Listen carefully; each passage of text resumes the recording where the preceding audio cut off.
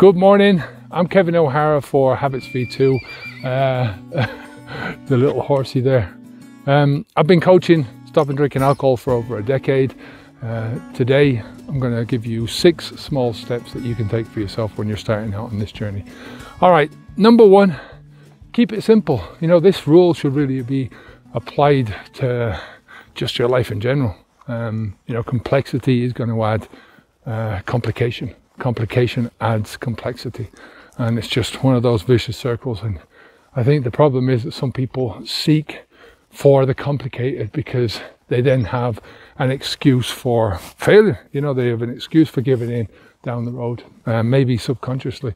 So there's five simple rules that I give you. Keep the alcohol out of your mouth is the first one. If you don't put it in, it's not going to get there. Uh, number two is only you can put it into your mouth. Nobody else is going to do it. Number three is stopping drinking is not the same as staying stopped. You have to treat them. One is a decision, the other one is a process. Number four, stop the flow, do the work, move on. Nobody is going to do the work for you. And number five, discomfort is part of the process. All right. The next tip I'm going to give you is um, replace the ritual, not just the alcohol. You know, it's not just the alcohol that you have to get rid of, it's the habits, the routines, the programming, the rituals. And then you say, Well, I thought you said to keep it simple. The only way to get rid of a habit you don't want is not to do it. So you have to swap out those drinking moments with new habits. Instead of unwinding with a drink, go for a walk, hit the gym, read a book. You know, build new habits, routines that actually recharge you, that give you something of value new rituals that are going to help you in your life. Our next tip is a practical one, and that's to pour the alcohol down the toilet where it belongs, right? If it's in your house, it's going to be in your mind. So get rid of the alcohol. You know, don't just hide it away.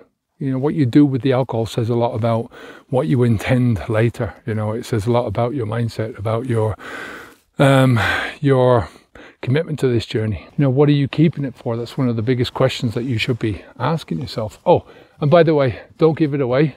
What does that say about you? You're not going to poison yourself, but you're quite willing to hand it over to somebody else so that they can poison themselves. You know, down the dunny is the absolute best place for this stuff. The next one is to own your own choice. No explanations are needed. You know, if your friends or your family, if they're going to question why you're quitting, you don't owe them any explanations whatsoever. Stay true to what's right for you without having to justify or defend anything.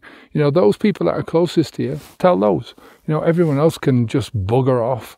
The alcohol can't influence you in any way whatsoever. It's just a liquid in a bottle. You know, the biggest influence is always going to come from the people that are around you and those closest to you are the most likely to try and influence you. And influence is the key word here. They can only try to influence you, but at the end of the day, the decision is always yours. You know, you're always one decision away from a completely and totally different life. Now, before we go on, uh, you can get our preparation module if you haven't stopped drinking it yet and you want a bit of a help. Um, this is from our main program, but you can get it for free by clicking on the link down below in the description, or you can click up here. Uh, I think there's going to be a link left there. Um, this preparation program will really give you the mindsets and the tools that you need to start out strong on this journey. The next tip is to start with one day, then go to the next day. You know, don't worry about a lifetime without alcohol, right? Just focus on today. Too many people say, well, yeah, stopping drinking alcohol forever is just such a scary thing to think about. And it is, right? Why would you think about it like that though? right? You breathe one breath at a time. You take one meal at a time. You take one shower at a time, right? You know, if you start thinking about those things, oh, I have to shower every day for the rest of my life, where would you be? You know, the journey of a thousand miles begins with a single step. You can only take one step at a time and then the next step. You can't take the first step and then the 100th step. That just isn't possible, right? So take it one day at a time and then let each day build on the last. The preparation module is going to really help you to get into the proper mindset for this journey. Now you'll get to the stage in this journey where you've got the hang of living without this poison in your life anymore, um, where you're really going to start believing that, yeah, do you know what? I can really see myself never drinking again because you've put distance now between yourself and the old alcohol habits. You've built um, kind of a new identity for yourself after, you know, normally around five, six months' time this happens. So don't worry about it. Next one is put energy into actions and not excuses. Right, thinking about stopping alcohol is really easy. You know, taking the action to to do it, you know, and to stay stopped uh, isn't. Right, there's a lot of stuff that you have to do within that journey. You know, I don't know how many times that I went through a, a binge drinking session, and then the next day I'd get up with a hangover, and I'd say to myself, "Never again. That's it. I'm stopping." Uh, and I never followed through with that. You know, I actually followed through with it when I made another decision in my life to become the best father that I could be. Then I made the decision to stop drinking alcohol. But anytime I said to myself, oh, I'm just going to stop drinking alcohol now because it's not doing me any good, that never worked. You have to stop the flow, do the work, move on. And doing the work is not focusing on the alcohol. What you focus is what you get in life. You know, doing the work is focusing your time and your energy into something meaningful, getting busy with your goals.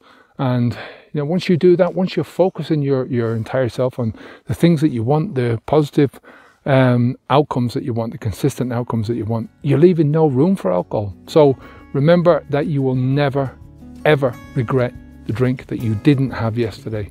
Right? You'll never regret the drink that you didn't have yesterday. So I'll leave it there for today. Take care of yourself. Don't forget to click on the link for the preparation module. It's absolutely free. The link's below this video. Onwards and upwards. Keep the alcohol out of your mouth. Bye now.